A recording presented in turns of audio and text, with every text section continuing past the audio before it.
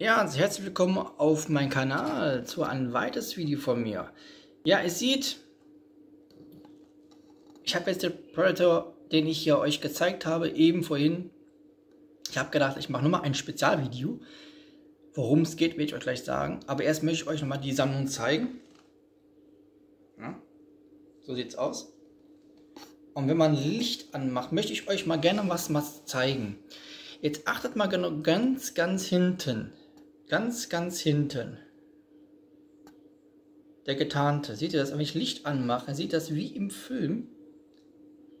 Sieht man den gar nicht. Und wenn die Tapete bis in der Farbe wäre, würdet ihr den gar nicht mehr sehen. Und das ist das Entscheidende bei der Firma, diese Figuren zu machen und möglichst haargenau wie im Film die geilen Figuren zu machen. Und das ist mega hier. Und worum es heute? Ist ganz einfach. Ich, ich möchte euch mal, mal zeigen, was an Zubehör von den Figuren übrig bleibt, was dabei ist. Und da kann man auch wirklich gute Ideen mitmachen. Und ich werde euch mal zeigen, was dabei ist. Was übrig bleibt überhaupt. Ja. Herzlich willkommen. Hier ist euer Mike auf meinem Kanal. Noch einmal ein Spezialvideo für mich an euch persönlich. Ja, was es gibt ja manchmal Figuren von den, von den Predators, auch andere Figuren, wo manchmal Zubehör übrig bleibt. Zum einmal im ganzen Kopf. So was hier zum Beispiel, wenn man äh, Puppen selber machen kann, könnte man den als Kopf nehmen. Da kann man sich noch einen weiteren Predator-Figur machen. Aber ihr müsst mal sehen, wie überhaupt sagenhaft so eine Figur aussieht und wie alles schön bemalt ist. Und ich muss sagen, aber das ist fest, ne? Das ist fest montiert. Es ist einfach nur, einfach nur die, diese Maske, die vorne drauf befestigt ist. Und hinten sind die ganzen Zotteln. Also diese. Ich weiß immer noch nicht, worum die dienen. Ich denke mal, das ist, sind seine Haare oder irgendetwas, seine, seine, seine Zöpfe. Aber das ist das Entscheidende. Genauso auch mit dem Kopf, den ich hier habe. Seht ihr das? Sehr schön auch. Und natürlich dann, wenn man so überlegt, Nahaufnahme. Ah. ah ja, gut, ich will mal versuchen, ganz funktioniert jetzt nicht. Aber ihr seht, sehr schön gemacht. Auch die Augen, der Mund, seine Kiefer, auch natürlich seine, seine Zöpfe. Sehr schön. Und sowas bleibt meistens immer übrig. Und da kann man entweder hm, machen, dass der Kopf irgendwo ein Gegner ähm, abgehauen worden ist und dann liegt er da rum mit seinem äh, leuchtendes Grün oder andere Sachen. Dann kommt natürlich dann seine, seine Waffe, seine beliebte Klingenwaffe, die im Arm dran ist. Das kann man rausziehen, so hier, ne? kann man am Arm befestigen. Das ist Zubehör gewesen von irgendeiner Figur. Sowas kann man zum Beispiel seinen Waffenwand, die meisten von Predator diese Waffen, wo die dran, dran sind, da könnte man die mit den anderen Sachen verbinden, zum Beispiel wie diese hier, nur die Maske, aber ne, was also dabei ist, dann einmal so eine Maske. Und dann bleiben natürlich auch die Hände übrig immer von denen hier, ne? Und natürlich auch die anderen Zubehör, die ich eben vorhin, den jetzt den Golden ich euch gezeigt habe, diese Kralle hier, die kann man auch wegtun. Oder die Klingen hier, die kann man im Waffenschrank wieder reinsetzen, weil ich meine, sowas hier. Und die anderen Sachen, wie diesen Kampfteil, diesen Draht oder diesen, diese, diese Peitsche und diese Maske. Also man kann, ich sag mal, die Zubehören sind immer sehr schön, finde ich, immer zu haben. Und dann kann man wegtun. Und was natürlich auch immer, hier das auch, natürlich, dieses Schild wegtun und die andere Hand. Aber was natürlich der Burner ist, ist natürlich das. Das ist natürlich die Trophäe eines Predator. Predator. Ist natürlich klar, was macht der Predator? Er sammelt Trophäen. Ja, ähm, ihr könnt schon mal denken, wie er das macht, ne? entfernt. Ne? Möchte ich jetzt hier nicht auf dem Kanal sagen, aber viele wissen, wie das funktioniert im Film.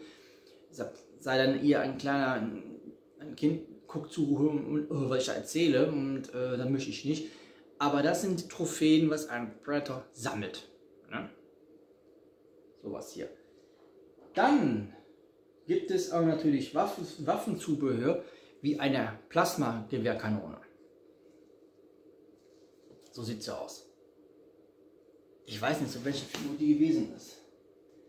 Ich glaube zu dem mit dem Umhang hier. Ich meine, da ich meine, die würde da dazu gewesen, meine Finger. Ja, genau. Hier zu dem hier. Und die Maske, meine Maske hat er auch gehabt. Auf jeden Fall gehört die mit dazu und das ist so eine Plasmakanone. Weil der Predator hat ja auch äh, verschiedene Waffen, wo der ja mit kämpfen tut. Entweder seine, diese, diese, diese Kanone, die man auch als Pistolenwaffe umfunktionieren kann. Müsst ihr mal schauen, im Film äh, gibt es, welcher Film war das jetzt gewesen? Genau diese Predator, wo war das gewesen? Irgendein Film, da war in der Stadt gewesen und irgendjemand findet diese Waffe und findet raus, dass ein Griff dran ist und dann, genau, die wird gefunden, da ist ein Griff dran und dann schießt ein Mensch damit sich zu verteidigen. Aber nach einer Zeit wird die leer. Aber man kann auch die wirklich umfunktionieren. Entweder für hier diese Pistole hier ranzuziehen und oder einfach mal als normale Schlossverfahren so zu machen. Es, Moment, ich weiß nicht, vielleicht habe ich auch eine Diskscheibe. Ah, ich habe noch mehr gefunden. Einmal noch solche Arme hier, die man ändern kann. Auch die, die kann man zum Beispiel, wenn man irgendeinen, so manchen Kampfszenen nach machen möchte, wo der Gegner, irgend, äh, wenn ein Mensch und Soldat zufällig die Hand abgehauen, ne?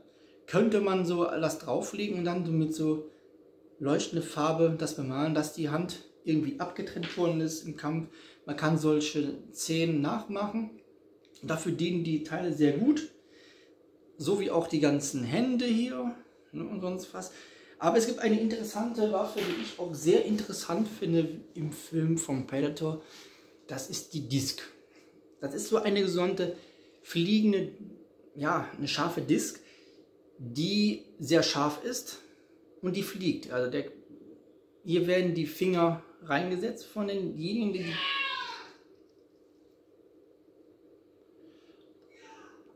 Ja, ich musste gerade eben unterbrechen, meine Frau war am Schreien gewesen, ist Fußball dran, äh, EM und 1 zu 3 für Deutschland. Also, sie spielen heute sehr gut, muss ich sagen. Top. Also, drückt unsere Jungs die Daumen. Ja, wo war ich geblieben jetzt geblieben? Ja, die Disc hier zum Beispiel. Ja, man kennt die ja auch zum Beispiel in äh, Predator 2, ne, wo der eine farb, farbigen äh, Polizist, der super gespielt hat, ähm, äh, ähm, der hat ja ähm, ein äh, Polizist gespielt und der hat dann zum Schluss ja diese Waffe gehabt und hat sich damit verteidigt.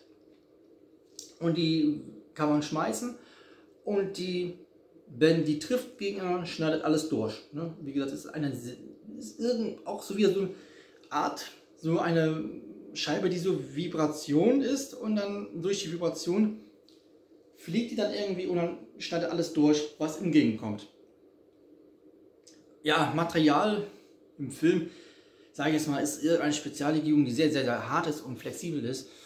Aber gut, das ist einfach Film. Science Fiction. Ja, wie gesagt, diese Disc ist auch, habe ich einmal nur, weil ich habe sehr viel Zubehör auch von Star Wars hier zum Beispiel. Das sind alles Zubehör. Hier ist auch noch eine Hand, ja, hier ist auch noch eine Hand vom, vom Predator. Hier sind sehr viele Sachen drin. Also die alles übrig bleiben von so vielen. Oder Darth Maul hier, Doppelklingenschwert hier, alles was drin ist. Oder andere Köpfe. Es bleibt so viel übrig. Das ist meistens noch eine mehr große Sammlung, wie eine ganze Figurensammlung äh, ist. Ne? Also wie gesagt. Und deswegen habe ich ich mache mal so ein kleines, feines Spezialvideo äh, für euch noch einmal, ich denke mal, jetzt wird ihr mit Sicherheit sehen, ihr werdet mit Sicherheit alle EM-Fieber sein, ihr werdet alle vom Fernseher hängen und, und ne, unsere Mannschaft einen Daumen drücken. Ich drücke so auch den Daumen. 1 zu 3 hätte ich wirklich nicht gedacht. Sie spielen heute sehr gut und ja, mal gucken, vielleicht schaffen wir das. Drückt unsere Mannschaft, unsere Mannschaft die Daumen. Gut, das war's vom Video und ähm, auf jeden Fall werde ich noch mal kommende Zeit noch einmal mich noch einmal melden zu meinem neues Kostüm, weil ich ja euch ja gesagt habe. Ich möchte, Entschuldigung, Mann, ist eine trockene Luft von dem Feucht hier so. Ich habe ja überlegt, als ich ja diese Figur mir geholt habe, ich habe ja jetzt viel vom Batman gemacht und sonst was und ich habe überlegt, ich mache auf jeden Fall noch irgendetwas anderes, weil ich möchte wieder wieder ein Kostüm machen. Ähm, meine Frau geht nichts so wieder, wieder langsam wieder arbeiten. Kurzarbeit war ja auch, auch in Dornau, na, nicht böse gemeint, nur wenn man immer zu zweit ist, kann man ein Video machen, Kostüm zeigen, sonst was. Und ich werde auf jeden Fall ein Kostüm machen, was so ein bisschen Star Wars mäßig in den Ring geht, aber auch im Predator. Ich werde auf jeden Fall auch Ausrüstungswaffen bauen. Es wird einfach eine Lanze gemacht, die aber auch als Lichtschwert dient, Doppelklingenschwert, was aber ausgefahren wird als Speer vom Predator. Und es werden noch andere Sachen zukommen. Es wird sehr interessant werden hier auf jeden Fall. Ich habe Pläne. Ich wollte normalerweise irgendwas auch von Thor nachmachen, solche Fallen. Aber ich bin nicht so der Horrorfreak. Meine Frau ist immer, die liebt diese Teile. Aber ich kann mir die Sache nicht angucken. Es sind zwar gute Filme, aber ich bin nicht der, leider der Horror. Also Predator ist auch schon irgendetwas, aber das ist so ein bisschen so eine Stufe zu hoch. Aber ich werde mir überlegen, so ein bisschen Science-Fiction-mäßig irgendetwas noch nachzumachen. Und auf jeden Fall, das wird auch mega. Ich werde mir so auch eine spezielle Kupferlackierung Dose holen, für den Metall zu lackieren, um besser den Effekt reinzukriegen. So richtig Gold, kupfermäßig, schwarz, das richtig Predator-mäßig aussieht. Dass hier wirklich mal die Sachen fliegen gehen und sagen, pass mal auf, das ist ja mega. Ich will mich nicht die Beste machen, Beste zeigen, aber ich möchte wirklich mal aktiv mal zeigen, dass ich mal Abwechslung hier reinbringe. Im Sinne wünsche ich euch wirklich jetzt zum letzten Mal einen schönen Sonntag. Guckt Fußball! Ne? Drückt unsere deutsche Mannschaft die, die Daumen. Bis dann, euer Mike. Bleibt gesund. Ciao.